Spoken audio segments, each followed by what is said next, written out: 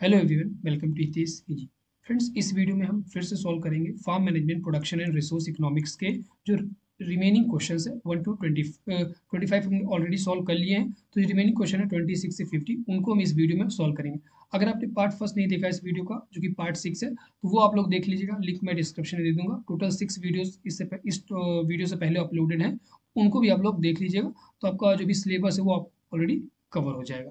So question number 26 in linear programming constant can be presented by linear programming जो रुकावट आती है, वो कैसे प्रेजेंट करती इक्वालिटीज इनइक्वालिटीज रेशियोज या बोथ ए एंड बी ठीक है? सो ऑप्शन नंबर डी क्या हो जाएगा? Both A and B option by equality as well as inequality so option number D क्या हो जाएगा यहाँ पर? Correct question number 27 the law of scarcity क्या शो करता है? Does not apply to rich developed countries apply to only less developed countries implies the consumer wants will be satisfied in socialist system implies the consumer ठीक है? जो law of scarcity है, वो developed countries पर लगता है या developed countries पर नहीं लगता है so applies only to less developed countries ठीक है? लॉ ऑफ़ स्कासिटी कहाँ पर लगता है? जो कि कम विकसित वाले जो देश है, उन्हीं पर लगता है। सो ऑप्शन नंबर बी क्या हो जाएगा यहाँ पर?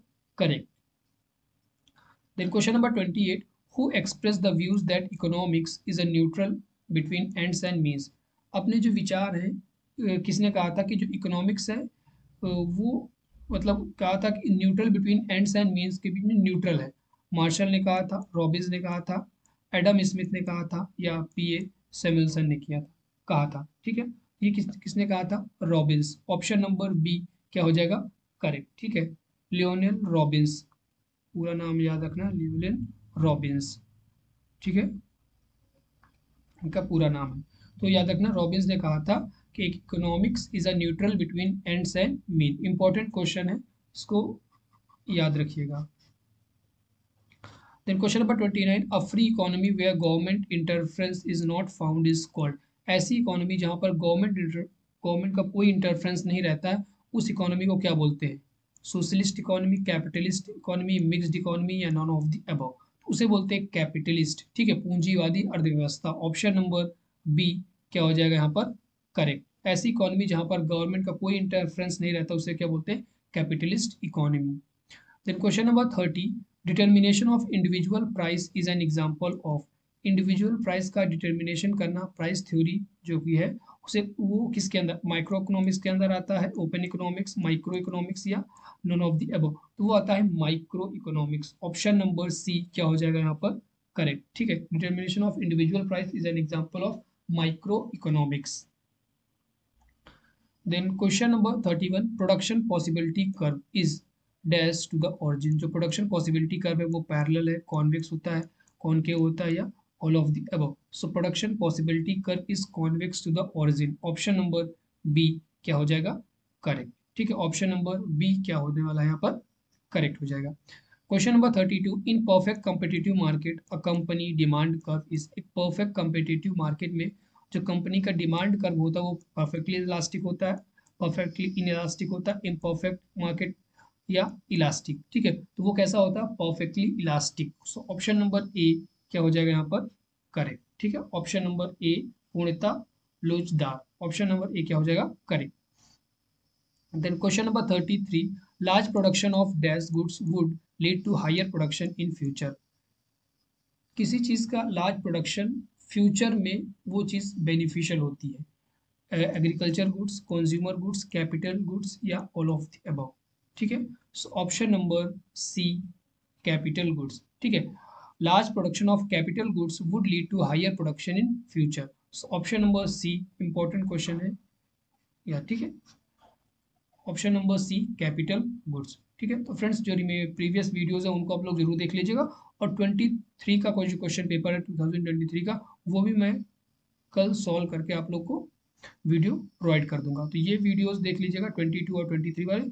और बाकी जो रिमेनिंग क्वेश्चंस हैं वीडियोस फोर फाइव वीडियोस है, उनको भी आप लोग देख लीजिएगा।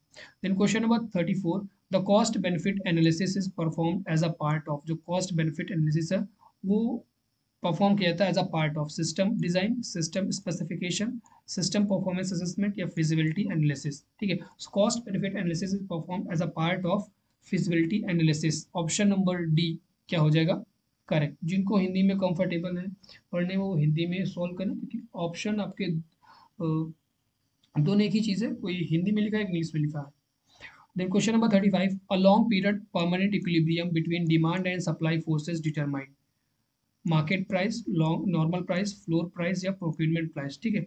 एक long period of permanent equilibrium कोई चीज़ चीज़ परमानेंट इक्विलिब्रियम पे है तो बिटवीन डिमांड और सप्लाई के बीच किस चीज़ को डिमांड करता है? मार्केट प्राइस को नॉर्मल प्राइस को फ्लोर प्राइस को या प्रोक्योरमेंट प्राइस को? ठीक है so it demand determines the market price option number A क्या हो जाएगा यहाँ पर correct then question number thirty six which of the following should not affect a farmer's decision to store his crop.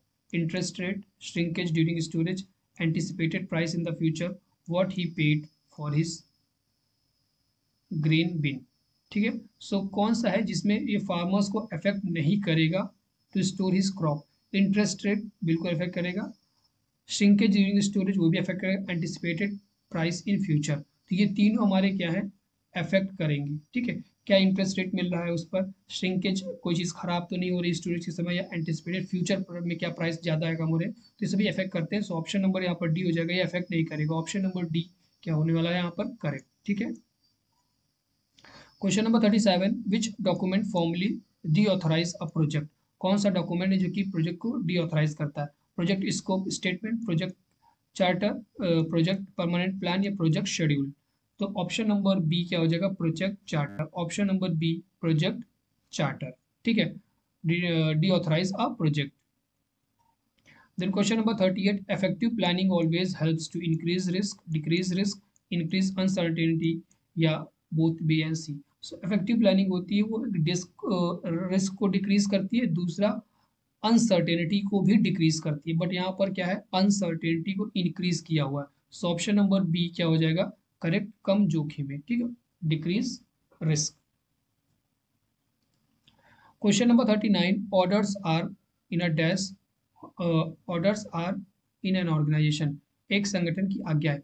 Unidirectional होती है by directional होती है multi directional होती है नन ऑफ़ दी अब ऑर्डर्स आर यूनिडायरेक्शनल ठीक है? So option number क्या हो जाएगा? करेक्ट ठीक है? Unidirectional question number forty an acre is equal to जो एक एकड़ होता है, वो किसके बराबर होता है? Zero point four zero hectare zero point seven four hectare zero point four seven zero point zero four so acre किसके इक्वल होता है? One acre is equal to zero point four zero five hectare ठीक है? Option number A क्या होगा यहाँ पर? Correct एक एकड़ में zero point four zero five hectare होते हैं। Then question number 41. The first advanced agri business seminar was held. पहला जो एडवांस एग्री बिज़नेस सेमिनार था वो कहाँ पर हुआ था? यूएसए में यूके में फिलीपींस में या इंडिया में? ठीक है? तो पहला हुआ सेमिनार हुआ था एडवांस एग्री बिज़नेस सेमिनार वो हुआ था 1969 में मनीला में हुआ था, ठीक है? और मनीला कहाँ पर है? फिलीपींस ऑप्शन नंबर सी क्या हो जाएगा इसमें? करेक्ट फिलीपींस मनीला में हुआ था 1969 में first advanced agribusiness seminar then question number 42 which of the following are interrelated planning and control organisation and direction organisation and staffing control and direction हैं तो सभी एक दूसरे से रिलेट करते हैं, ठीक है? बट कौन से हैं जो कि मोस्टली इंटर रिलेट करते हैं? वह है planning and controlling option number A planning and controlling mean planning and control जो है are interrelated option number A क्या हो जाएगा यहाँ पर? Correct then question number forty three support prices of agri communities are recommended by जो MSP होती है मिनिमम सपोर्ट प्राइजेस होती है किसी भी कम्युनिटी की, वो किसके द्वारा रिकमेंड की जाती है? नेफेड के द्वारा आईसीआर के द्वारा एस के द्वारा सी के द्वारा तो किसके द्वारा रिकमेंड की जाती? है मैंने पिछले वीडियो से बताया हुआ है आप लोग को सी ठीक है, आप लोग को बताना है सी ए सी पी का फुल फॉर्म क्या होता है।